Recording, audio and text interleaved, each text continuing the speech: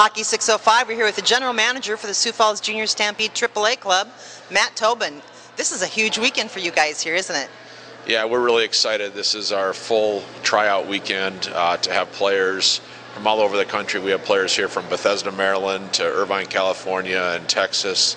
Uh, we have over 115 players here trying out for three for three teams. It's amazing to see all these kids from all over the country and there's some real there are some players there, aren't there? Yeah, there's uh, really good players here. We're excited to see all of them and watch them compete. So now, what is the future hope for the, those kids who do make the final selection? What will happen for them? Uh, once the rosters are set, they'll come here in the fall, late August, early September. We'll start with our camps.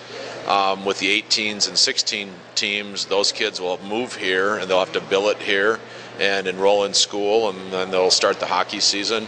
Uh, the 14 team will continue to be a commuter team, which will allow the kids to live at home, and then they'll come on the weekends for practices and games, and then they're responsible for their own development during the week. Uh, but all of the teams then will um, start a very competitive, probably 45 to 55 game schedule, and we'll play a full Tier 1 schedule. Our schedule will take us to uh, Chicago and uh, Detroit, St. Louis, Kansas City, Denver. So we're excited uh, to watch the guys play. Oh, it, we're really looking forward to it too. That's, there's been some great play out there already that we've got to see. Now, obviously, you have a whole bunch of really good hockey players here. Yeah. You also have an impressive lineup of coaches. Tell us a little bit about some of your coaches.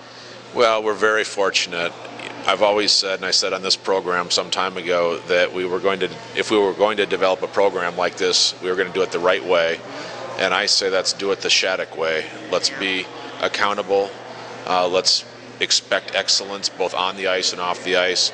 And that creates a culture, and that culture is a reflection of the people involved. And so we were so fortunate last year to get Mike Deach. Mike actually coached at Shattuck for 20 years. Coach Deach is now moving here to Sioux Falls, and he's going to now coach our 14 and our 16 Wow. team. And then in addition to Coach Deach, we uh, have Rylan Gagliardi here. Uh, Coach Gagliardi uh, grew up in Calgary, came to the United States to play junior hockey. He played four years at Mankato. He was the captain at Mankato, played four years of pro hockey, and he was coaching out in the East Coast in Jamestown, New York. And so he brings a wealth of experience and a lot of connections. Most importantly, these are two very good guys and uh, I'm just excited to watch them work with the players and watch the players develop over the year. Yeah. Now it's it's uh, really going to be a, a great opportunity and a, to see youth hockey grow in this area as well, isn't it? Yeah, that was always part of our objective was to grow the game in this region. So we're hoping to grow the game by giving players in this area an opportunity to play at a higher level and maybe move on from here to play junior and collegiate hockey. We're also excited to have kids from across our state go back into their own their own communities and share what they've learned and maybe be a role model in those communities and to just raise the bar for all the young players coming up uh, Mike Squirts Pee Wee players, they need a stepping stone to get to places like the Stampede or to a USHL team or maybe eventually to college. There's a lot of kids with a with a, with a dream, and we're hoping to provide a program that will help them reach that dream. Well, and you, you're so right that they will also be able to take back what they learn here to their local program and, and elevate the level across the region. Right, and we've also, I think, worked well with the Team South Dakota concept because uh, there are there are players that would have played on Team South Dakota that are now playing on our team, which then creates a few spots for Team South Dakota, and so that means more kids from South Dakota are playing on the Team South Dakota team and they get the experience of playing the games in the fall and going to the national tournament. So if you look at last year, although we didn't have a U16 team, other kids left the state to go play Tier 1 hockey in other places. And so Team South Dakota's 16 team got to add additional players to its roster.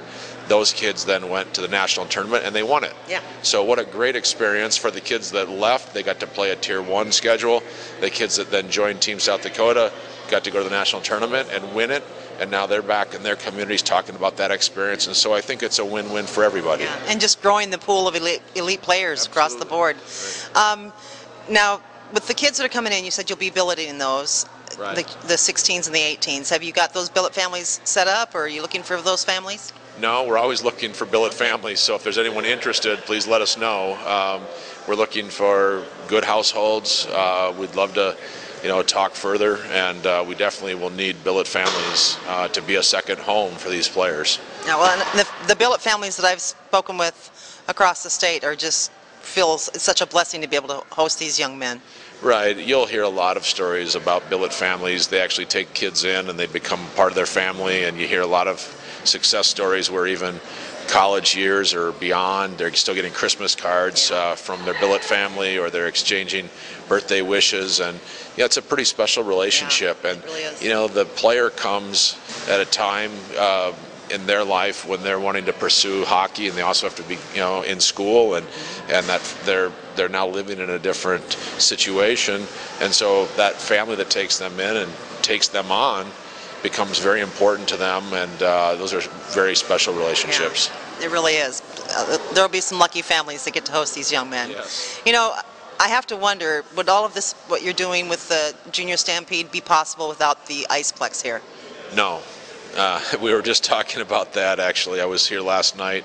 It was uh, late and I was uh, uh, just kind of looking around and I said to some people, I said, can you imagine trying to do this without this facility? Yeah. And I think we all said quickly, no way. It, it just wouldn't be possible. Uh, just to you know have people in the lobby and to watch and to use multiple rinks and so and then going forward, you know, having practice time and a place to play and so no, it wouldn't it wouldn't be possible. Well, it's, uh, we love having it here. It's our home away from home. and yours is too, as well, I think. Especially this weekend. Yeah.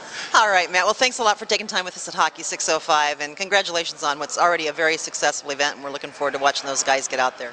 Thank you. We really appreciate your support and uh, yeah, we're looking forward to another great season. All right. Thanks. Thank you.